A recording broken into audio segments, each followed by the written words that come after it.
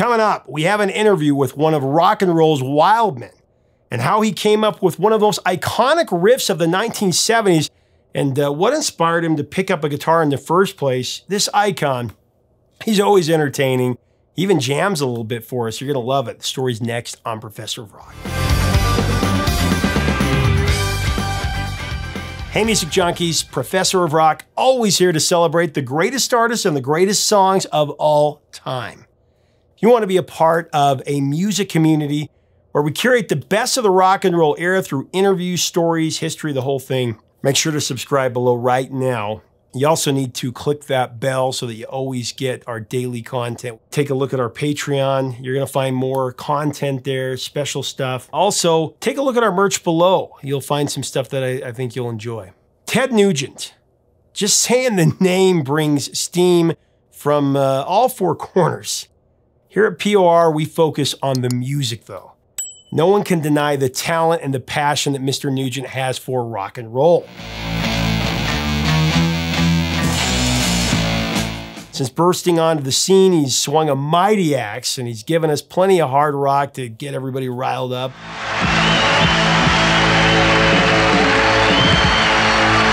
I had an opportunity to talk with him about his music, including the story of his ferocious 1977 rocker, Cat Scratch Fever.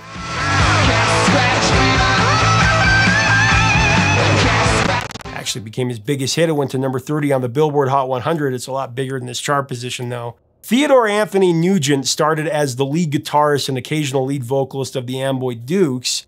After the band dissolved, Uncle Ted started on a solo career. Of course, Nugent is notable for his Gibson Birdland, uh, his bluesy and frenzy guitar playing, and his energetic live shows.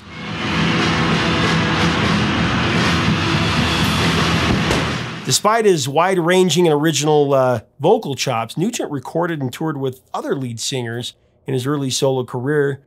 There was Brian Howe, Meatloaf, and Derek St. Holmes, among others. He took on lead vocals later on, though, and he was uh, also part of the rock supergroup uh, Damn Yankees with Tommy Shaw Styx, Jack Blades, the Night Ranger. They had the number three hit High Enough in 91. We'll have to cover that for sure.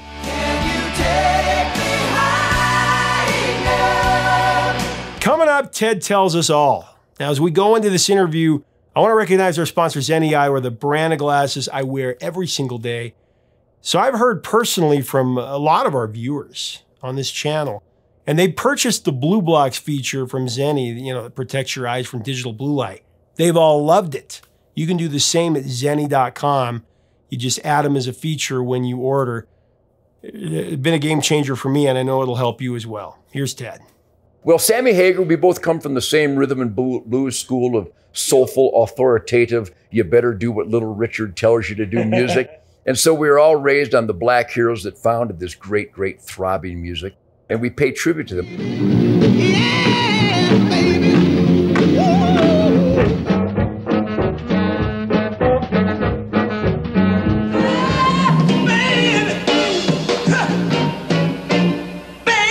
I think we have actually specified for the last 45 years that when we go on stage, we try to emulate James Brown and the famous Flames as far as energy and piss and vinegar and spirit and positive, positive force and tightness.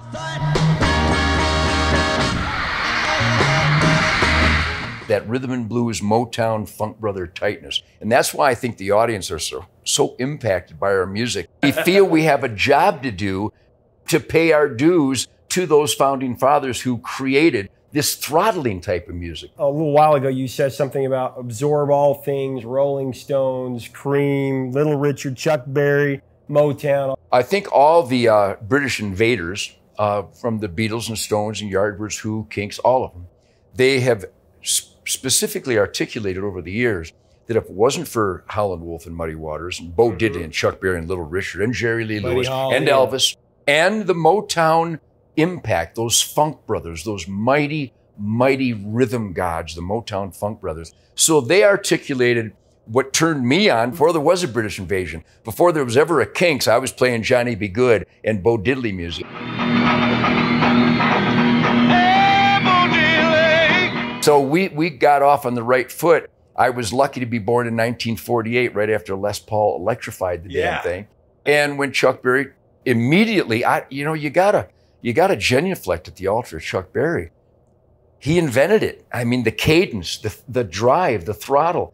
There was nothing like that before him. So we, we acknowledge that. We never lose track of that. In fact, we do a tribute every night to all those founding fathers. It is that soulfulness, that authoritative, uppity, defiant, uh, gung ho spirit of the music that no matter where we play, no matter what the conditions might be, we're playing for those guys.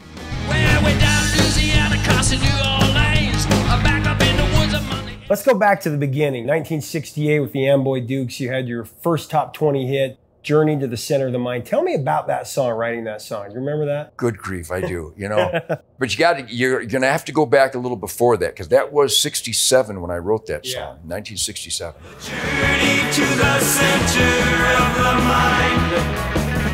I was just playing the patterns. I, everybody picks up a guitar and everybody plays the lick that ended up in Journey to the Center of the Mind and Barracuda. I don't know, maybe it's a rip off of, uh, of uh, Bonanza.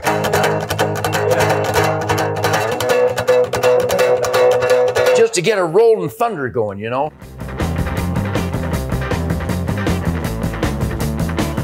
As today, when you walked in here, I was beating on my Gibson Birdland. I love the music, so I always had a guitar either on or getting ready to be put on or terminally on. I love to play. So you're always experimenting with adventure on the guitar neck. You're trying to find you're trying you're trying to find noises and sounds. And and thank God for the jazz and blues guys. I mean, going back to John Coltrane and Yusef Lateef and Sun Ra, but the Howlin' Wolves, a lot of that stuff was dissonant. A lot of that was down and dirty and nasty and really grinding.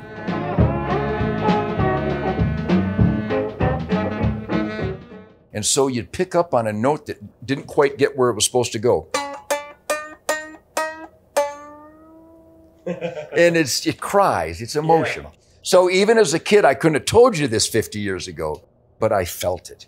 So Journey to the Center of Mind was an offshoot of what my band, The Lourds, in 1960 and mm-hmm. 61 and 62, learned from a band called Billy Lee and the Rivieras, who changed their name to Mitch Ryder and the Detroit Wheels.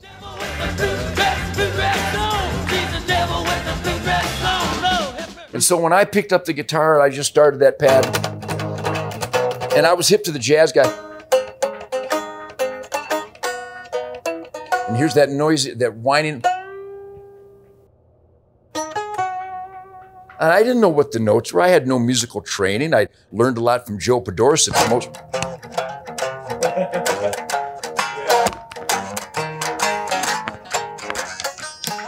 you know, just the dirty, Yeah, yeah, funky yeah. stuff. But it, when you play, all, and we did, I played all the time. Playing was number one. In Journey to the Center of Mind, I didn't write the lyrics. I had no idea what Steve Farmer was doing um, intoxicant wise. I thought that the title is a kind of a play on Journey to the Center of the Earth. Unthinkable, but it must be true. A man took some tools and went where no human being had ever set foot. Journey to the Center of the Earth, adventure, probing unknown territory. Journey to the Center of Mind. I, I was clueless on the drug scene. So Journey to the Center of the Mind, I think it still holds true for me today. All right, Journey to the Center of the Mind. I think once in a while, Adam, we should take a deep breath, pause, and take a journey to the center of our mind and ask ourselves, are we using God's gifts to the best of our ability? Are we benefiting our family and our neighbors? Are we an asset to our country? Are we producing to the best of our ability? That's what Journey to the Center of the Mind meant to me. To you, yeah. I don't think that's what I meant to Steve. I think he was going with the LSD excursion into the unknown Timothy Leary zone. So, uh, and then they, they came up with the, the album cover with uh, what I eventually discovered were dope smoking bong. So I thought it was just modern art because it was uh, Peter Max and op art back Right. then. I thought, okay, um, blown glass artwork in various colors. Okay. And, and so the song became a smash, and that orchestration with it.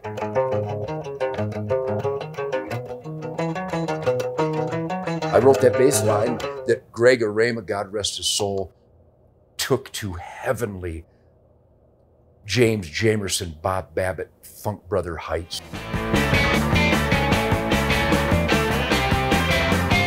Greg Arama was a, a walking miracle, genius piece of music. Dave Palmer on the drums was so syncopated in groove.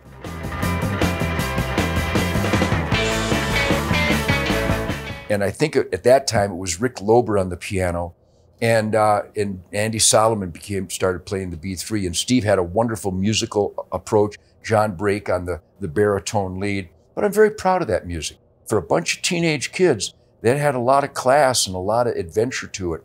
And we played it tight. We were already James Brown in it. Come along if you can.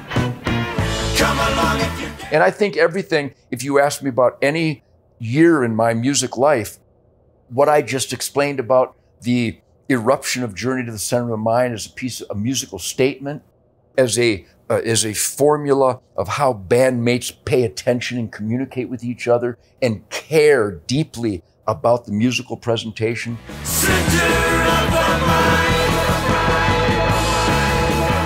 Well, it's one thing to write one song that rocked the world, but to write a few of them that rocked the world that still resonate 30, 40 years later. Let's talk about Cat Scratch Fever. Killer lick. So I was talking about honky tonk and boogie Yep. woogie origin. Everybody's got to learn that. Or, let's spend the night together. honky tonk. I just put a whole chord to it.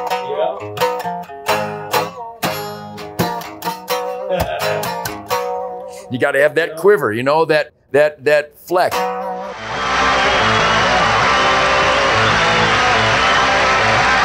And so it's just an extension and a bastardization of what is the nucleus of all great music, either honky tonk or boogie woogie.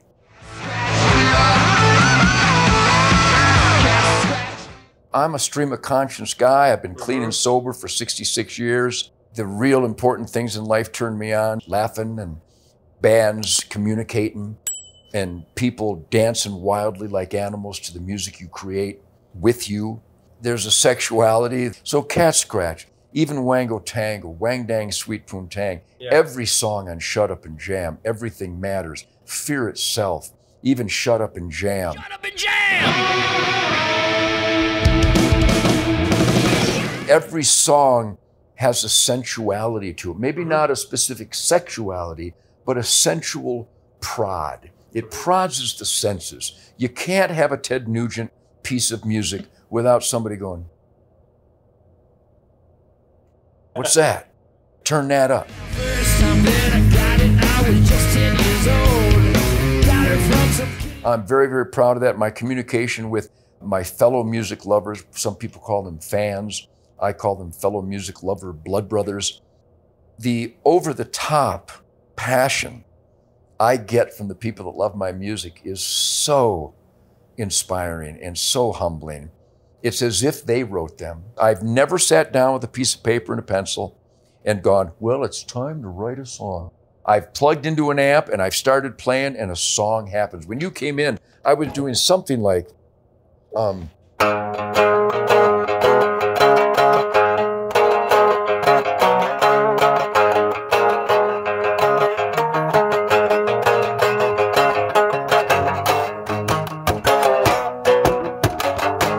damn song.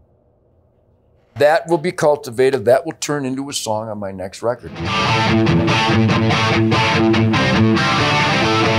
Well, you said recently, don't learn scales. I think the reason that my music uh, resonates with so many is because it's so unique, it's so stylized, because I'm not that good.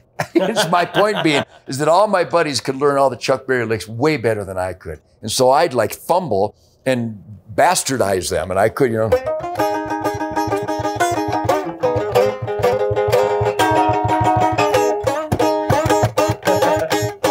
Uh, now I can do it, but I couldn't do it then. So my bastardized version of what they were doing sounded different.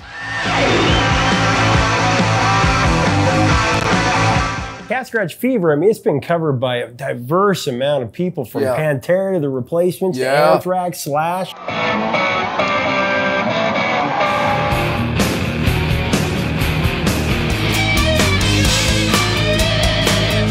It's what every guitar player wants to do. I mean, you could go. I mean, you know. And, you know. Wang Dang Sweet Poontang, and on the new record.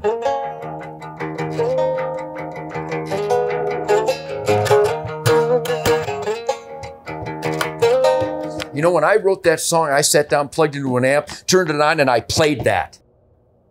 I played the whole song, and I went, that's a song.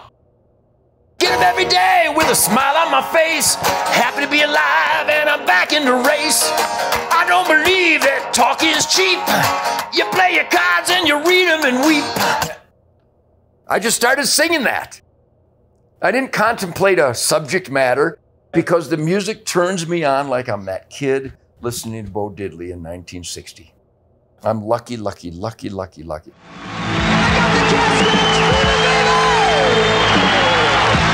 Leave us a comment about Uncle Ted, Ted Nugent, and Cat Scratch Fever, one of the greats of the 70s. Tell us below what your thoughts are, uh, your memories of the song. Make sure to subscribe below and hit the bell so you never miss out uh, if you like this content. And uh, make sure to check us out on Patreon, our merch. Help us keep the music alive. That is the goal, as always. Until next time, three chords and the truth, my friends. We'll talk to you very soon.